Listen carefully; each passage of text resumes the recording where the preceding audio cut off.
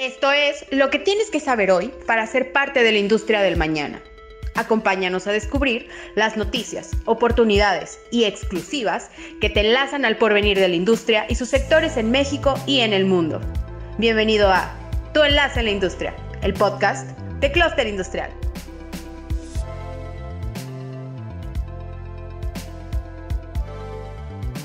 Bienvenidos una vez más a su podcast Tu Enlace en la Industria. Soy Martín García López y en esta ocasión nos acompaña Martín Manuel Briceño, ingeniero mecatrónico que en los dos últimos años ha tomado el rol de especialista de la industria automotriz para IFM México y que desde 2016 tiene el cargo de gerente regional de ventas para la marca en Monterrey. En esta ocasión, él nos hablará sobre el uso eficiente de energéticos, una tarea ineludible del sector industrial. Bueno, Martín, un placer contar contigo y con tu presencia en esta ocasión. Al contrario, Martín Tocayo, muchísimas gracias por la invitación. Muy honrado de estar aquí en tu espacio. Gracias, gracias. Y pues bueno, vamos a empezar así que con lo bueno, ¿no? Primeramente, ¿cuál es la estrategia que está implementando la industria para reducir los gases de efecto invernadero? Como sabemos, pues es una misión que ya varias empresas están teniendo, o sea, no es nada nuevo para nada y pues muchos tienen esta intención de llegar para el 2030, habiendo reducido un 40, un 30%, hasta 50% algunos sus gases, pero pues la realidad es que a veces parece ser una tarea pues bastante compleja, pero me gustaría que nos comentaras cuál es tu visión que tiene la industria en este momento. Correcto, así es, eh, Martín, bien lo mencionas.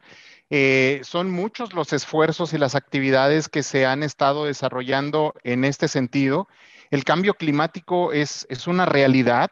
Eh, fue prácticamente en, el 95, en 1995, cuando el grupo de países pues que tenían esta, eh, esta preocupación se, reúne en Berlín, ¿verdad? Y, sale la COP número, número uno, en donde se empiezan a abordar ya de una forma científica eh, pues estos temas que son pues realmente evidentes, ¿verdad? El, cambio, el cambio climático eh, por el tema del ser humano o el efecto del ser humano, eh, pues es, es, más que evidente. Las, las sequías, las tormentas, la escasez de, de agua y toda esta, todos estos fenómenos que se han estado presentando, pues bien, bien lo mencionas, ha llevado a países a hacer acuerdos para poder disminuir la generación de los gases de efecto invernadero.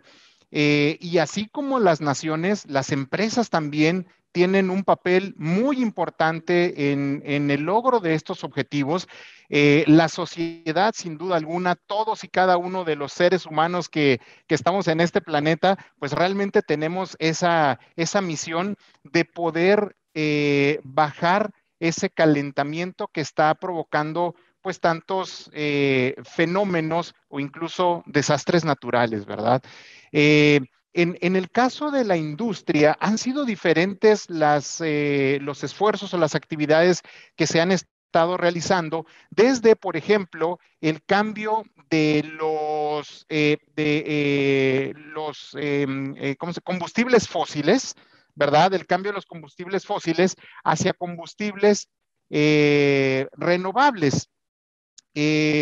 Eh, varios están utilizando ya los generadores eólicos, por ejemplo, para poder tener eh, energía en, sus plantas o las, celdas solares, por mencionar algunos. Eh, otros esfuerzos también se han implementado, como por ejemplo el uso de, materias, el uso de materias primas, el tema del reciclaje, por supuesto, eh, entre, entre algunas otras actividades, hay, hay muchas empresas que están eh, apoyando la parte de la reforestación, por ejemplo, que, es otro de los factores que nos va a ayudar a que, a que este dióxido de carbono, que es uno de los eh, principales gases de efecto invernadero, representa nada más y nada menos que el 80% de, estos gases de efecto invernadero, aparte del, metano, eh, pueda, ser, pueda ser controlado, ¿verdad?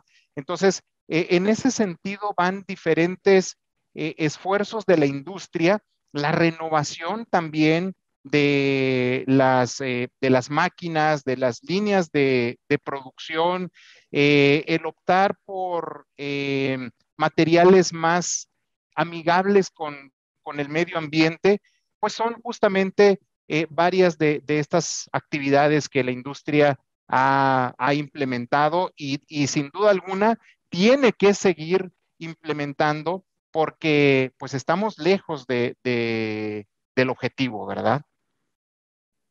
Creo que algo bastante interesante es que el trabajo industrial ha aumentado. O sea, a lo largo de estos años, la, gran propuesta es hay que seguir produciendo a, esta misma cantidad o a mayor cantidad, pero generando el menor impacto natural posible, lo cual representa pues un gran reto.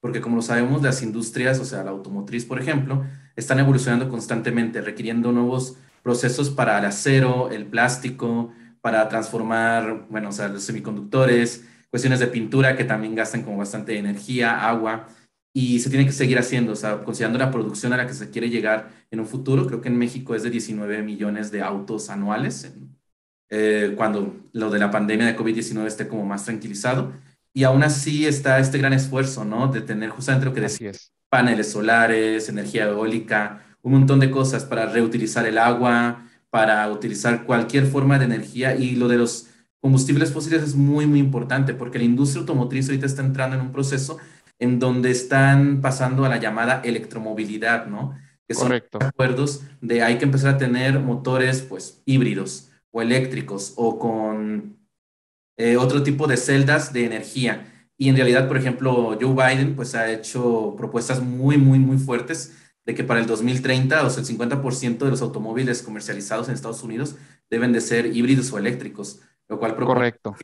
Y como sabemos, Estados Unidos es pues eh, el cliente principal de México para la industria automotriz, o sea, en autopartes, en producción, eh, así que significa que México tiene que esforzarse bastante pues para pasar a esta electromovilidad y poder pues ser vigente en el mercado para Estados Unidos. Claro, claro, sin, sin duda alguna. Eh, es, es un tema muy importante, dado que prácticamente el 80% de, de, nuestra producción automotriz es justamente para, para, el mercado norteamericano, ¿verdad? Entonces, definitivamente tenemos que prepararnos para esa electrificación o esa electromovilidad, como, como bien le has llamado. Y es que, eh, fíjate que en México, alrededor de un 23% de los gases de efecto invernadero justamente vienen de la parte del transporte. Y en Europa es incluso más, es, eh, puede ser alrededor de un 30% eh, lo que la participación que tiene el, transporte o el uso de, combustibles fósiles en vehículos, ¿verdad? Entonces, eh, en el caso de México, por ejemplo, estamos hablando de un 23%, es una cantidad increíble y está ligeramente por encima incluso de la generación de, energía eléctrica. Entonces, eh, sí, definitivamente este movimiento de la industria automotriz hacia la electromovilidad eh, nos va a dar un, muy buen respiro. Eh, y, definitivamente son varios los, los acuerdos que, que, se han logrado tanto como país como como empresa eh, de avanzar lo más pronto posible. Hay un, hay un estudio por parte de, Naciones Unidas en donde dice que de continuar con el ritmo que, tenemos, eh, podríamos estar cerrando el siglo con un incremento de 2.7 grados centígrados comparado con el periodo eh, antes de, de, la revolución industrial, ¿no? Del periodo industrial, vamos a llamarle. E, en, la, en el acuerdo de, París se fijaba un objetivo de no tener un incremento más allá del 1.5, perdón, de, 1.5 grados Celsius. Entonces, eh, pues e, eso es un reto enorme, es un reto muy fuerte para todos quienes habitamos este planeta y, justamente eh, se habla de tener que duplicar los esfuerzos o cortar las emisiones de gases de efecto invernadero eh, un 50% para poder lograr estos objetivos. Entonces, definitivamente, la participación de la industria automotriz en este, en este cambio o en pro de este objetivo es, sin duda alguna, mucho, muy, muy importante. Ahorita mencionabas hace un momento, pues, la COP y justamente se celebró hace unas semanas. Eh, Correcto. la COP 26. Me gustaría que nos comentaras este, cuáles son algunos de los acuerdos que se llegaron, ¿no? Considerando cuáles son pues los niveles de CO2, de contaminación que hay en este momento en el mundo y también saber México cómo está participando pues en esta transformación, ¿no? Porque esto, pues lo mencionamos al inicio, es un trabajo de todos, o sea, y todos es no solamente industria, es gobierno, es mundo, somos nosotros mismos. Eh, reciclaje, ahorita estamos pasando también a nuevos modelos por ejemplo, la tan llamada economía circular, que es esta creación de este, tus desperdicios, vamos a decirle así, o sea, no son desperdicios, son posible materia prima para alguna otra industria. Y Exacto. esto genera como una nueva forma también hasta de cadena de proveeduría. Pero me gustaría que me comentaras, este, ¿tienes en mente cuáles son algunos de estos acuerdos que se llegaron en, pues, en la COP26 y México, pues, cómo está participando y activamente, pues, cuál ha sido la participación de México? Claro, claro. Fíjate que eh, sin duda alguna es, una convención muy importante para todo el mundo. Eh, esta COP26 estaba planeada originalmente para el 2020. Desafortunadamente se tuvo que pasar 12 meses después por el tema de, la COVID, ¿verdad? Pero eh, se, varios países ratifican su compromiso que se hizo en el Acuerdo de París en el 2015, en donde justamente se busca reducir la mayor cantidad de, estos gases de efecto invernadero a fin de poder mantener ese incremento de la temperatura no más allá de, 1.5 grados Celsius. Eh, eh, uno de, uno de, las, eh, pues de las grandes noticias es que Afortunadamente, Estados Unidos eh, regresa a este acuerdo de París después de haberse salido durante el mandato de, Donald Trump. Lo tenemos de regreso. Eh, es, un, es un participante muy importante, eh, no nada más por la parte económica, sino también por la cantidad de gases de efecto invernadero que produce. Es prácticamente el segundo país que más gases de efecto invernadero produce e históricamente es el número uno que durante el tiempo es el que más ha, generado. Entonces, su participación definitivamente es, es muy importante, su reincorporación a, esta, eh, a esta convención, a esta, esta conferencia.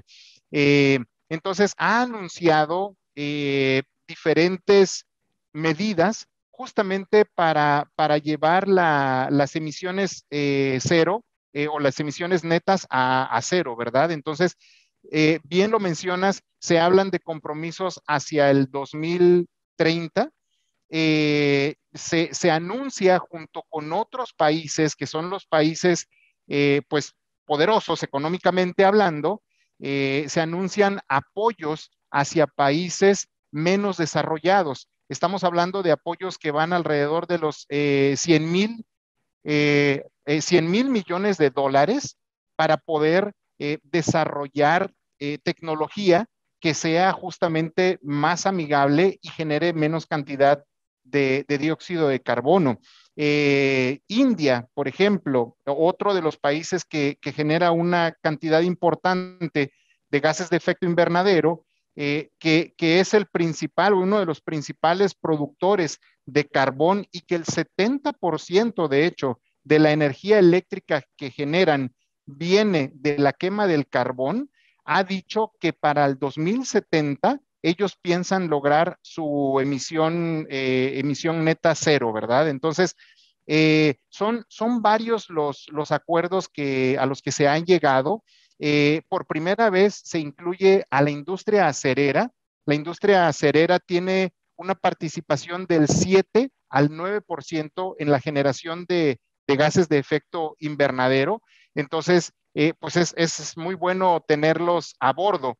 Hace un par de semanas participaba en un simposio, en el simposio de la, eh, de la industria del acero para, América Latina, el, al acero, y justamente se presentaban nuevas tecnologías que van en ese sentido, en el sentido de poder lograr las emisiones netas cero, ¿verdad? Entonces, pues muy, muy importante los resultados de, esta COP26, que como bien mencionas, pues se llevó a cabo del 31 de octubre al 12 de noviembre, fueron prácticamente dos semanas de, trabajo, eh, y en el que pues México también participó, ¿verdad? Este, tenemos el, somos parte del, del, Acuerdo de París, se tiene pensado reducir de un 50 a un 55% eh, la emisión de gases de efecto invernadero hacia el 2030, aunque como comentábamos hace un momento,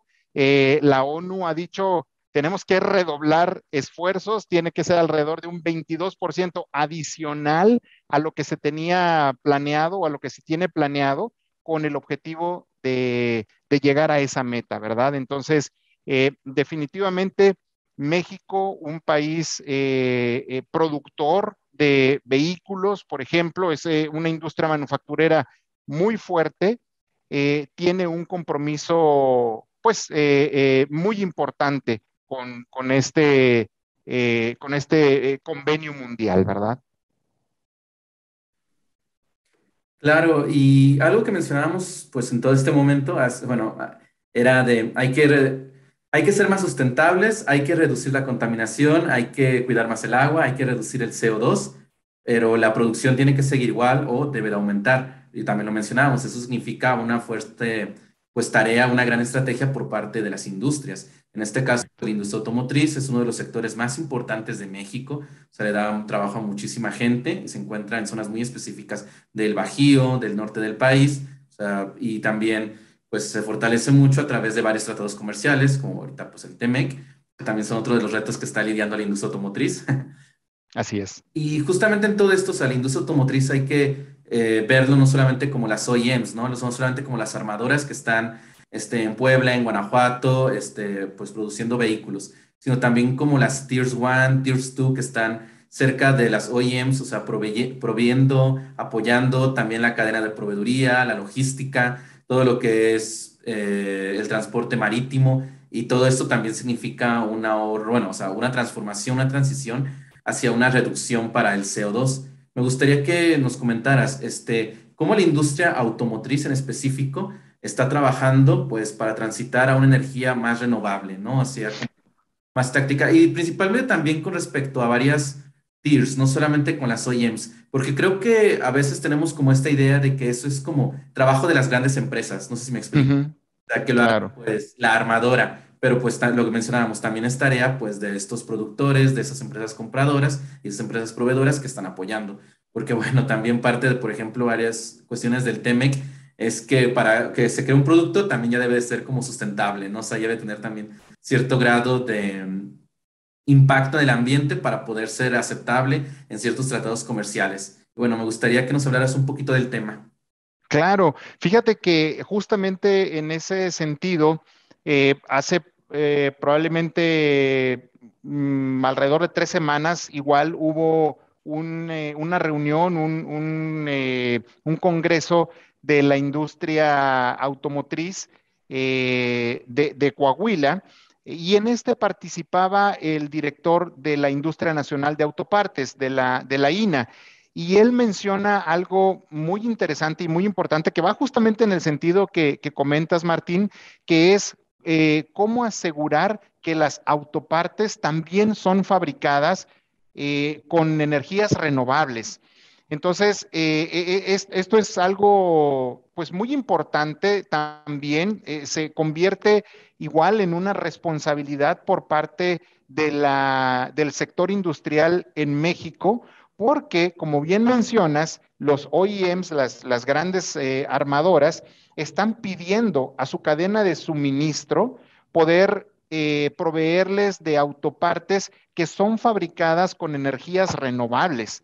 Entonces, eh, hablaba el director de la INA que habían tenido una reunión con la, con la secretaria de Economía para plantearles justamente esta necesidad eh, que, se tiene con las armadoras y a través de, del TEMEC, en donde hay que garantizar que las autopartes son fabricadas con energías renovables. Entonces, eh, eh, tocas un punto súper importante porque justamente es la forma en la que las armadoras no solo se están preocupando por la forma en la que fabrican o, ensamblan ellos los automóviles, no, se, no solo se están preocupando por el desarrollo de nuevas alternativas de electromovilidad, sino también están trabajando con su cadena de suministro para poder eh, garantizar pues, eh, la construcción de, o fabricación de, autopartes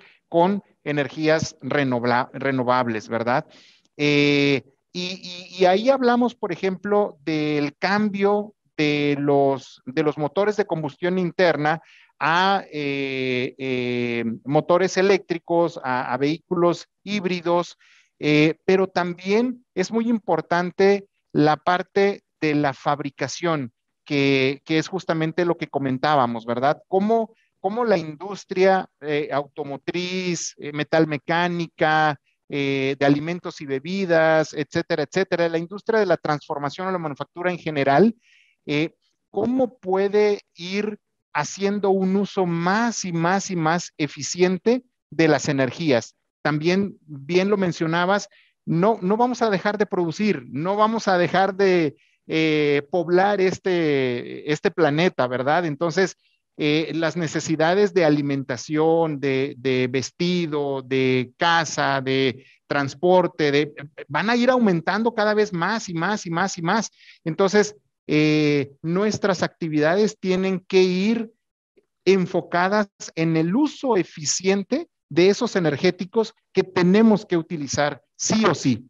Eh, ahora la, tarea es justamente cómo podemos hacer eh, el uso más eficiente, que vamos a utilizar la energía justo en el momento y en la cantidad que se tiene que utilizar y evitar los desperdicios. Y creo que esto abre punto para esto de la industria 4.0, la Big Data, el Internet de las Cosas, la automatización.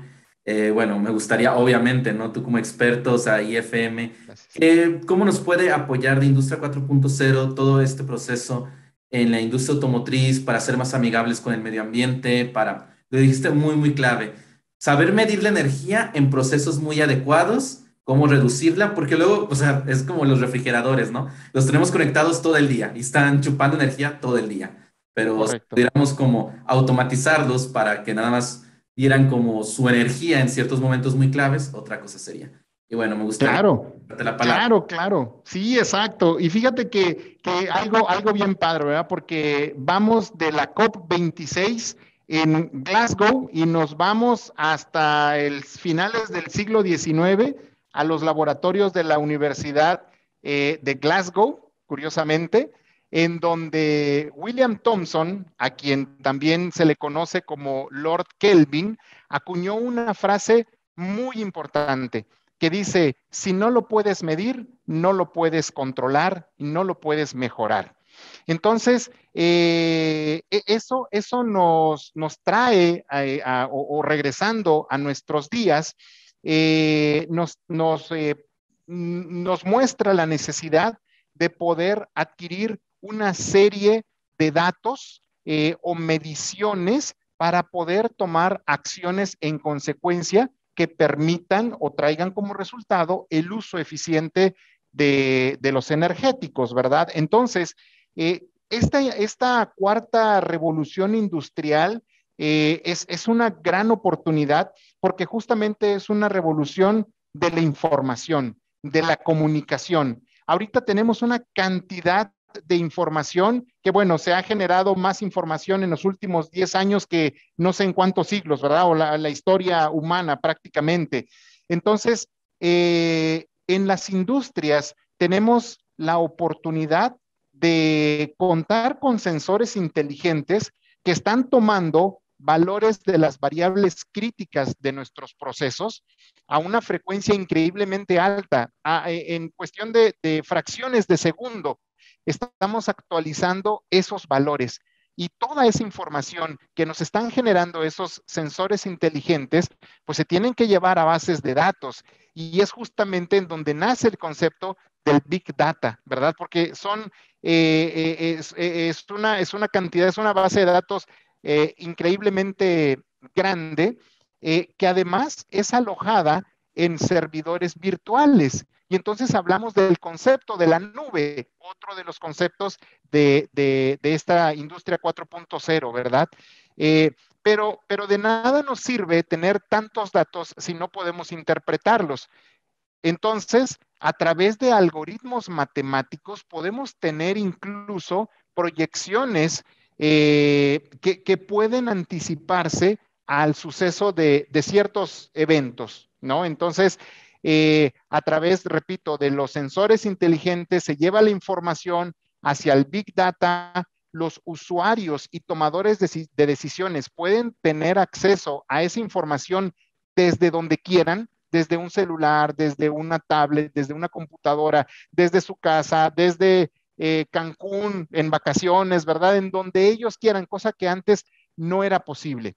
Tienen acceso a toda esa información para poder tomar una decisión. Y repito, a través de la inteligencia artificial también se están desarrollando algoritmos que van a dar ese soporte para decirle a un usuario, es el momento de que tomes una acción eh, preventiva antes de que algo, antes, antes de que algo suceda. Eh, fíjate, hablando en, términos de, eficiencia energética, algo muy simple, como lo es el aire comprimido. El aire comprimido es uno de los energéticos más caros que se disponen en una planta y es uno de los más caros por la cantidad de energía eléctrica que tiene que ser utilizada para la generación de, este, del aire comprimido. El Departamento de Energía de Estados Unidos hizo una investigación muy interesante en donde dice que alrededor de un 20 o hasta un 30% del recibo de luz de las empresas viene de la generación de, de aire comprimido.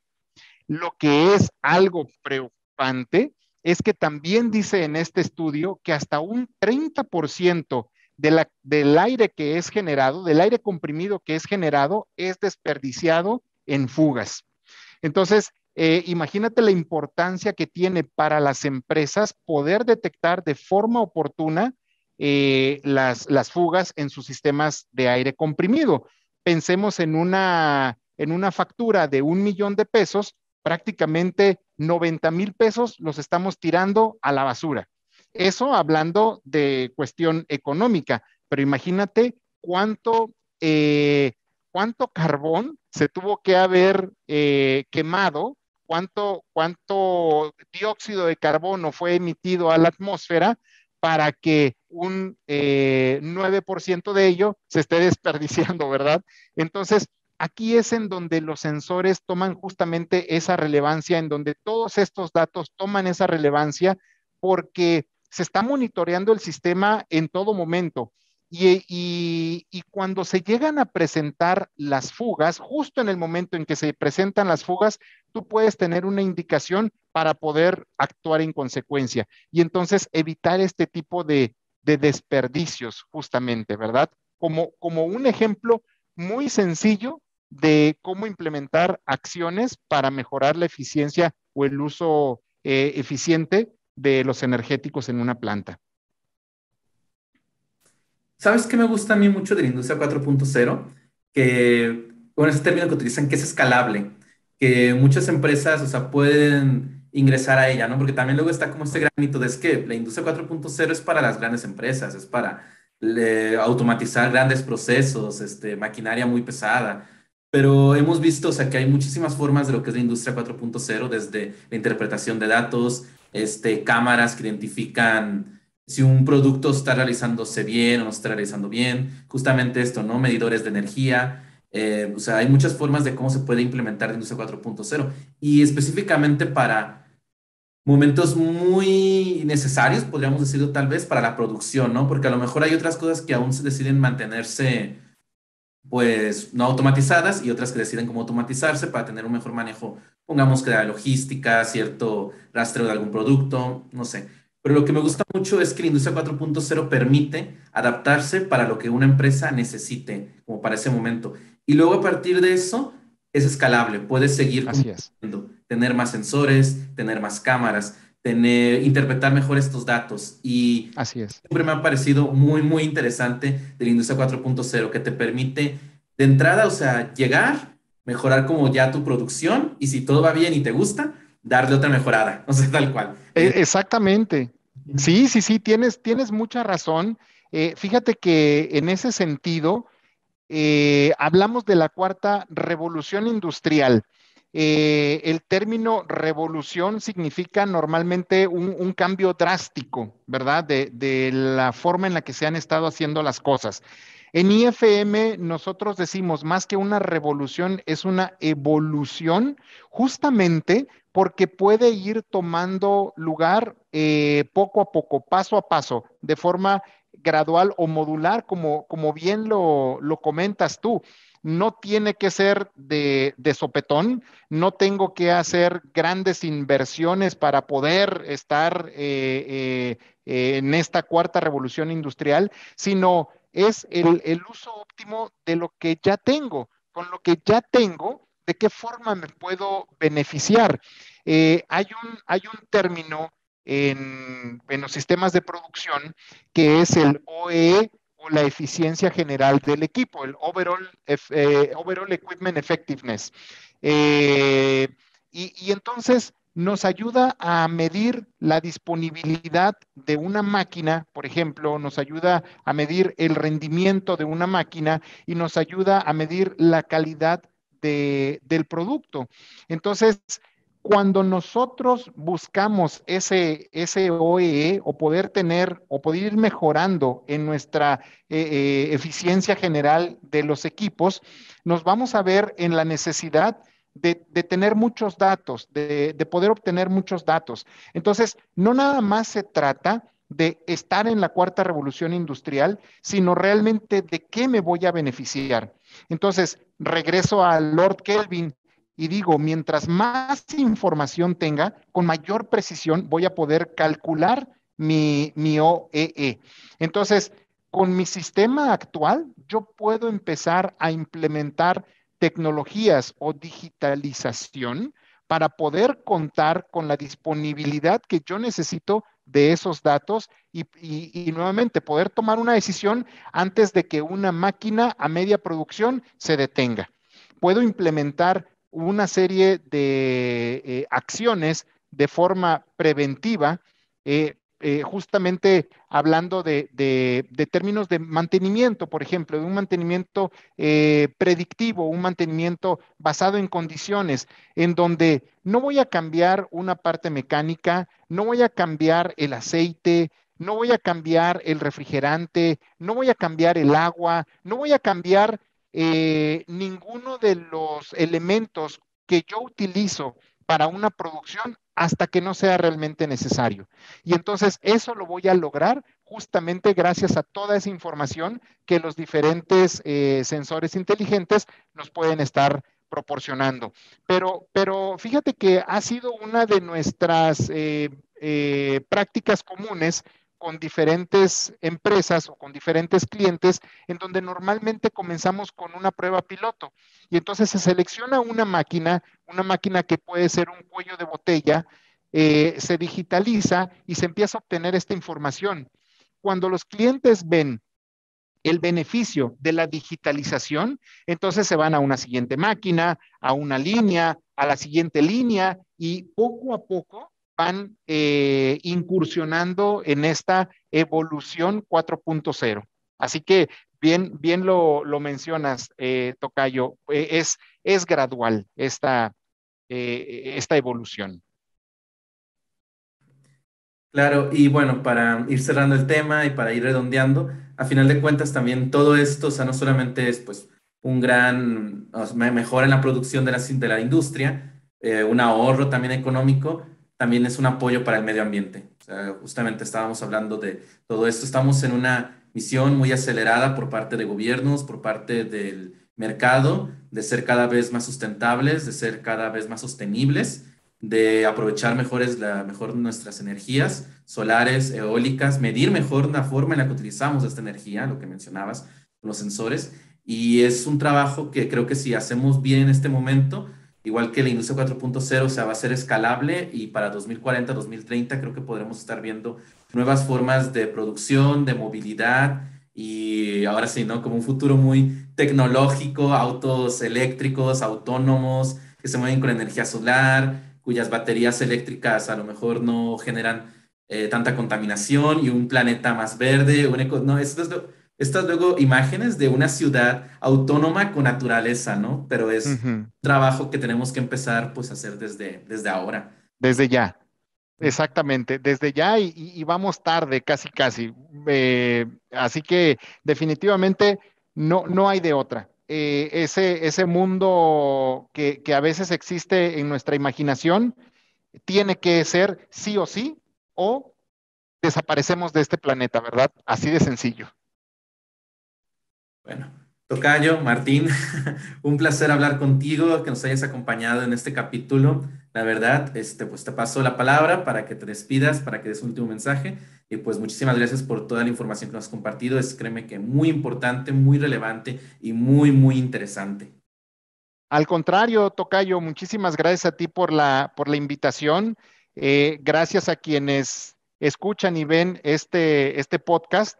Eh, pues, pues la, invitación es a, utilizar la tecnología que actualmente tenemos a nuestra, a nuestra mano, eh, que no tengamos temor, no es una tecnología increíblemente cara. Eh, perdón por el, por el comercial, pero en IFM apostamos por, por un principio que le llamamos Technology for All. Y eso quiere decir que hacemos muy asequible la, tecnología para que empresas pequeñas puedan incorporar eh, eh, eh, todos estos temas de, digitalización, ¿verdad? Entonces, no le tengan, no le tengan miedo al, término de la, de la, revolución, de la cuarta revolución industrial. No son grandes inversiones las que tienen que hacer y sí grandes los beneficios que hay detrás de ello. No solo en la parte económica, sino como bien hemos comentado en este podcast, eh, en pro de nuestro planeta y en la reducción de la emisión de gases de efecto invernadero. Así que mil gracias y a sus órdenes.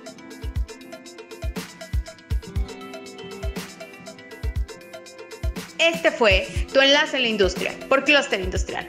Para seguir informado de lo más relevante de los sectores industriales en México, no olvides seguirnos en nuestras redes sociales y visitar nuestro sitio www.clusterindustrial.com.mx. Gracias por escucharnos y hasta la próxima.